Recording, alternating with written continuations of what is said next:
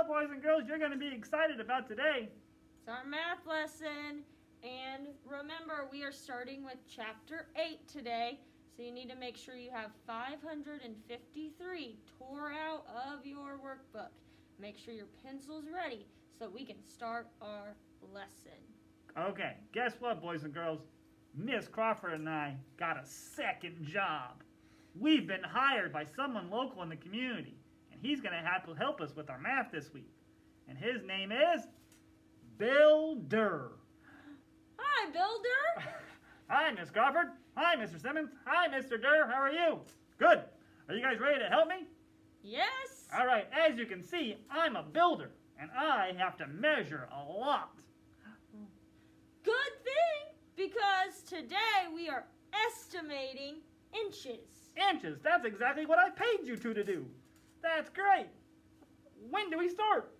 Right now. Yes, right now sounds great. Let's Yes. get cracking. Yes, and our boys and girls have their papers out and their pencils, and they're ready to work. Thumbs up. Wow. The thumb is very important in this lesson today Miss Crawford, why is the thumb very important when it comes to estimating inches? because we can use the, our thumb to estimate inches. So if you use your thumb from the end of your wanna show 'em finger, closer. From the end of our fingernail to this crease right here where our knuckle is, is about one inch. That's a great idea for the job we got today, boys and girls. So we're gonna use our thumb Tip of our thumb to our knuckle. to measure, and that's about one, One inch. inch. All right. So this bead is about one inch long. So you can put your thumb up there and see if it's about the same size as your end of your thumb to your knuckle. And I bet you it is. All right, I've got to run. You guys do a great job, and I'll check on you at the end. See you, Mr. Durr. Bye, Mr. Durr. Okay, boys and girls, let's do a good job so he doesn't fire us. All right, so the bead is one inch long. Use the bead to help find how many beads will fit on the string, which is the best estimate for the length of the string. String. Okay. All right, so we have a bead, and we can trace that bead to get an idea of how big our beads need to be every time. And don't forget, you can use your thumb if you need help. Alright, so we have our first bead, one. We draw another one, two, Two. three, four, five. Five. And we're at the end of the string. So we know two inches is too short. Eight inches is, Is too long. But five inches is just about right. So it's just about five inches. Because it's five be- Beads. Or five of your your thumbs. Tip of your thumb Tip to your of your knuckles. thumb to your knuckle. Half thumbs. All the way there. Alright, so now we have to circle the best estimate for the length of the string.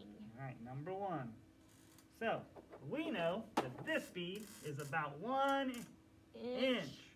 So if we keep estimating how long that would be side by side, let's see how many beads it would be, or inches. Inches. About one more. Like that. And is there enough room for one more, Miss Crawford? I think there will be. One more. How many inches did we come estimate with? One, two, two, three. So you'll circle three inches. Inches. is the best estimate for this piece of string. Oh my goodness. Number two is a very long piece of string. Alright, make sure you're making your beads about the same size every time you draw one. Alright, so we start and we'll trace the first bead.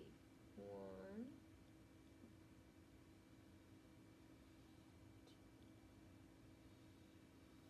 Three, four,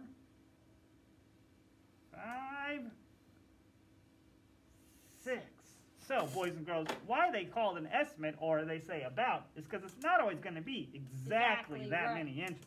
But if it's close, then you know what the right answer is. So I think it's close to one, two, three, four, five, Six. six inches. So you should have circled six inches on your paper. And that label is very important too, inches, so that we know what you're talking about. So let's go ahead and do the last All one. right, so we can see that this string is a little bit longer than the one up there, but shorter than the second one. Hmm, that might be a good clue. So, one inch, two, three, four.